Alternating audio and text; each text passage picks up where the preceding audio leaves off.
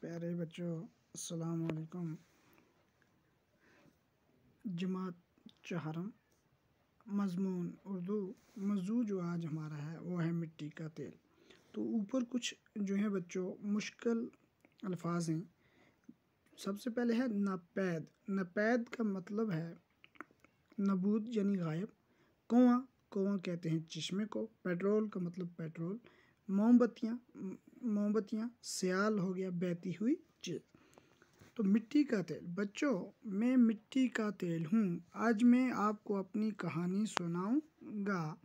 गौर से सुनिएगा। जब इंसान को पता चला कि मैं ज़मीन की गहराई में छुपा हूँ तो मशीनों की मदद से उसने मुझे ऊपर खींचा।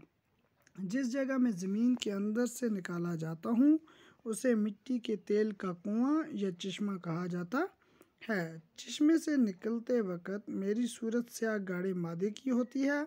फिर मुझे सफ़ाई के मरल से गुजरना पड़ता है।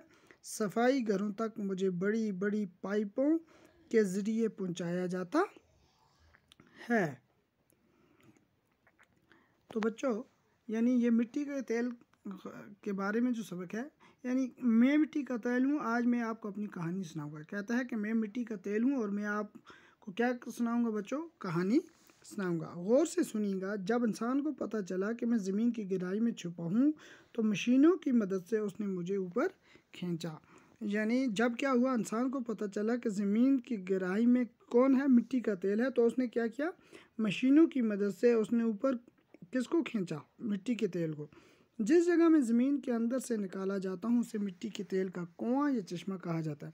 तो कहता है, जिस जगह मैं ज़मीन के अंदर से यानी निकाला जाता हूँ, उसे क्या कहते हैं? मिट्टी के तेल का कुआँ कहते हैं या चश्मा कहा, कहते हैं।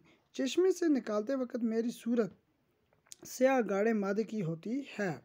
यानी जब वो चश्मे से निकाला जाता है मिट्टी का तेल तो उसकी जो शक्ल होती है, वो बिल्कुल स्याह गाढ़े मादे की होती है। फिर मुझे सफ़ाई के मरहले से गुजारा। फिर उसको क्या किया जाता है? सफ़ाई की जाती है उसकी।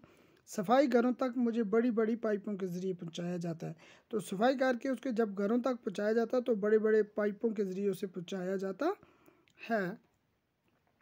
सफ़ाई घरों में मुझे अच्छी तरह साफ़ किया जाता है, यानी सफ़ाई वाले जो घर, सफ़ाई घरों में जब पहुँचता तो उसे और अच्छी तरह से साफ़ किया जाता है। मेरा रंग खूब निखर जाता है, यानी मेरा जो रंग होता है, वो बहुत चमक जाता है। फिर मैं पेट्रोल कहलाता हूँ, जिससे तेज़ रफ्तार गाड़ियाँ, कारखाने और जहाज़ चलते हैं। यानी जब उस कहता है कि जब मेरा रंग क्या हो जाता है खूब चमक जाता है, फिर मुझे क्या कहते हैं? पेट्रोल कहा जाता है, जिससे क्या होता है? तेज़ रफ्तार गाड़ियाँ, कारखाने और जहाज़ चलते हैं।